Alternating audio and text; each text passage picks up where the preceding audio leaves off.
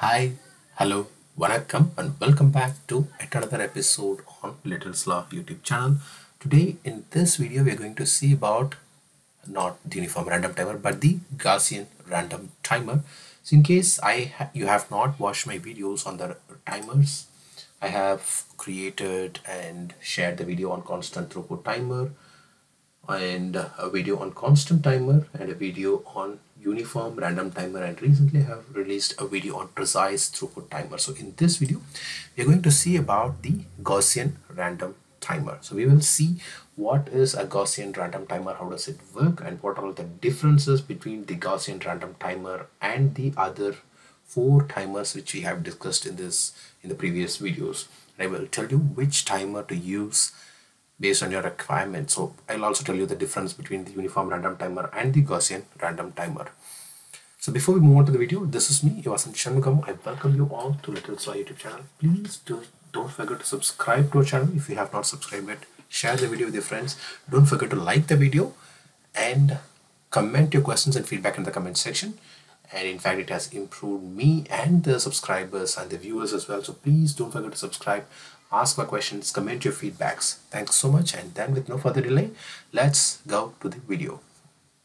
So as like any other timers, let's let me disable these because these were used for the previous demo. So let me remove them.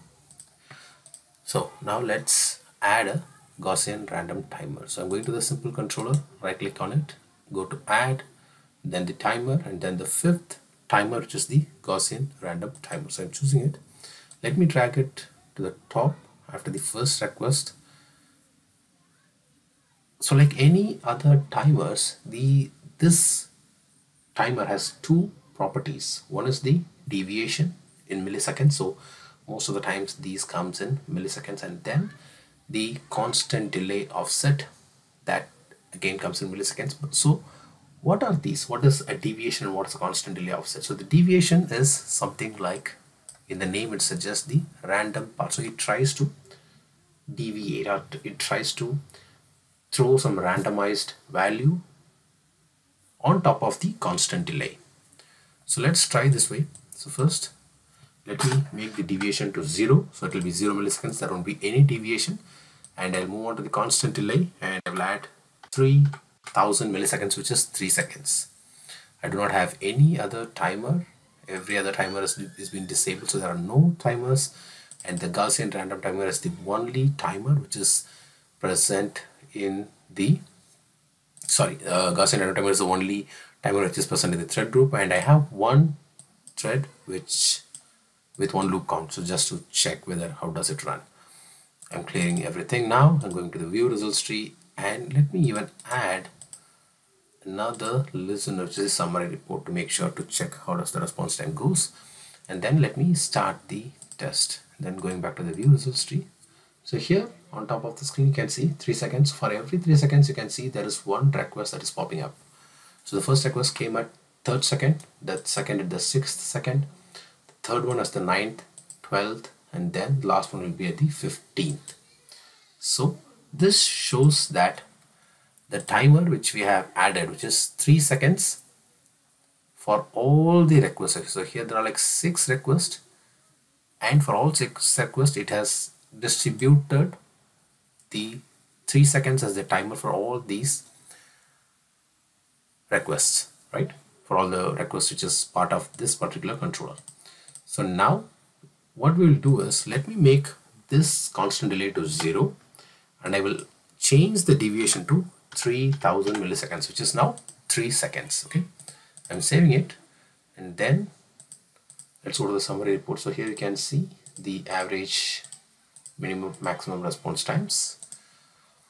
Let me clear it. Let me clear everything. And then I'm going back to the view results tree starting the test. And here let's watch it. So 3 seconds. We got the first request. 5 6 we have got the second one. Seventh we have got four third. So within 10 seconds we have got all the six requests.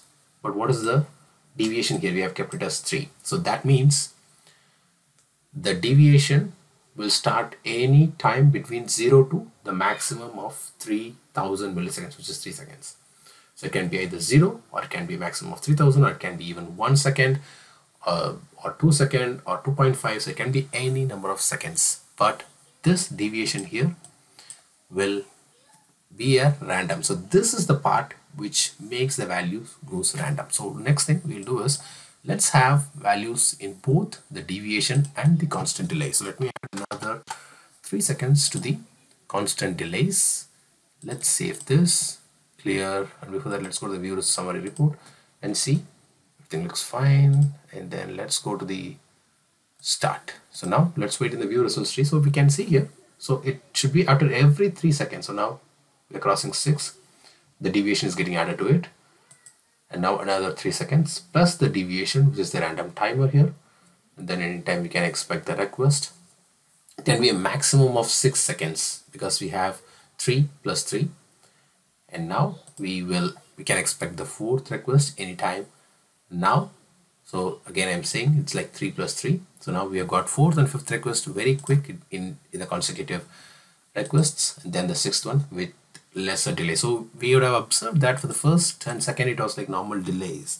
And for the third one it took a lot, a longer delay, right? And then for the fifth, fourth, fifth and sixth it, it like took like very real. So now you would have asked me like already we have other timers and in fact even we have checked about the another timer which is the uniform random timer. Let me just drag it up to the top. And it has even the constant the random delay and then the constant delay. So same way we have the deviation and the constant delay. So what is the difference between the Gaussian timer and the uniform random timer? So you might have all the you might have had, had these questions in your mind right by this time. Because we were already seeing all the all these timers in our videos and you must have definitely have this question so why why should we have two different timers with the same name with a similar kind of functionality. So let me explain you uh, explain it to you now. So before we see the difference, let me first tell you about the Gaussian random timer. So this Gaussian random timer here, which is a timer that introduces randomness into the test execution by generating random passes between requests, which we all know through the deviation and the constant delay, following a Gaussian, which is a normal distribution. So the purpose of this particular timer is to simulate more realistic and unpredictable user behavior as real world user actions often exhibit some level of randomness in timing. So for example, in a real world, people who are more into the IT information technology, they used to book their tickets very quick or they used to add items to the cart real quick. But people who are like no naive to the system, who are like very new to the system. So they might take a lot of time. They, they want to understand how the system works so they will take a lot of time. So this particular Gaussian random timer again I'm telling you this simulates more realistic and unpredictable user behavior as real world user actions exhibit right so what are the advantages of using why should I uh, use use the Gaussian, Gaussian random timer what's the advantage of using it? So the first part is the realism in user behavior simulation. So the Gaussian distribution closely resembles natural patterns seen in user behavior because it's common for users to have varying response times when interacting with the system and a Gaussian random timer helps replicate that randomness, that randomness behavior. And then avoiding patterns. So with constant timers like what we have, like we have some of the other timers we, we have discussed earlier. So the constant timer here, let me just drag it to the top. Sorry it's like not responding for some time. And then we have another timer which we discussed in our another video the constant throughput timer. So these timers the constant timers. So there is a risk of creating patterns in the test execution which may not accurately represent actual user behavior. And again when it comes to the Gaussian random timer, they help avoid such patterns by introducing randomness, which makes the test scenario more realistic. Because even you have we have a lot of options to calculate throughput but still they are constant. And next thing is the load variation. So what is load variation this Gaussian random timer helps in creating a more varied and dynamic load on this server because that's useful for stress testing and identifying potential bottlenecks. So in case if you are running a test to for a stress test, what timer should I use? So here is your answer. For a stress testing, you can use the Gaussian random timer. And if you want to identify any potential bottleneck like CPU utilization or the memory utilization or some bottlenecks or garbage collection, for those scenarios, you can use the Gaussian random timer. Okay, so I have discussed a lot of advantages. So we have another question in our mind like doesn't have, doesn't it have any other disadvantage? Yes, it do. It does have like any other component. What is the Gaussian random timer's disadvantage? First thing is the, is the complexity in analysis. So Gaussian distribution introduces a level of complexity when analyzing the test results.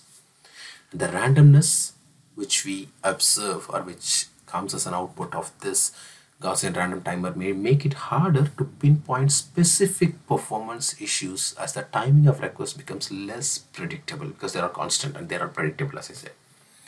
And next thing is the overhead. So by introducing these kind of or these level of randomness, they come with some computational overhead. Because the generation of random values based on a Gaussian distribution might slightly impact the overall performance of the test. Although it is a most welcome timer for the stress test but still it makes some impact on the overall performance of the test. Next is the configuration challenges. So configuring a gaussian random timer requires understanding the parameters of the distribution such as the mean the deviation and incorrectly configured timers may lead to undesirable testing behavior so now let's come back to the differences between the uniform and the gaussian random timer so the Gaussian random timer, the distribution works in a way that it generates random values following a Gaussian, which is a normal distribution. And when it comes to the behavior, the passes between requests are more likely to cluster around a mean value. So the point which we discussed in the disadvantage, we need to understand about the mean value. With some requests having shorter passes, we have seen in the, in the, the video previously there some has shorter passes and some have longer passes so this closely simulates natural variations as i told you this closely simulates natural variations in user behavior when it comes to the configuration it requires parameters such as mean which is the average and the deviation to define the shape of the gaussian distribution right so by, by this time you must have understand as we discussed the word mean multiple times so you should know about the mean, you should know about the deviation to define the shape of the Gaussian distribution timer. And by the time you use it often, you might be well versed in using it. And now the uniform random timer, which we have already seen. So the uniform distribution timer generates random values following a uniform distribution. How is the behavior of it? So the passes between the requests are equally likely to occur across the entire specified range because every value within the range has an equal probability of being chosen. And this creates a more evenly distributed randomness rather than the Gaussian thing, right? And then when it comes to the configuration, it requires parameters such as constant offset delay. We know here constant delay offset and random delay maximum to define the range within which the random values will be generated. So overall, these both timers which we discuss here, the uniform random timer and the Gaussian random timer introduces randomness into the test execution. The types of distribution they follow sets them apart. Gaussian random timer aims to replicate a more natural and varied user behavior with passes clustering around a central mean. On the other hand, uniform random timer provides a more evenly distributed randomness where any value within the specified range is equally likely. So finally, when it comes to choosing between these timers, it depends on the specific testing goals and the desired simulation of user behavior. If you want a more realistic representation of how users interact with the system, Gaussian random timer might, must, might be the suitable timer. If a more uniform and evenly distributed randomness is sufficient, then the uniform random timer is the better choice. So with that, I come to an end. So until I meet you in another interesting video, it's bye bye from Asan Shanmugam and Little's Law.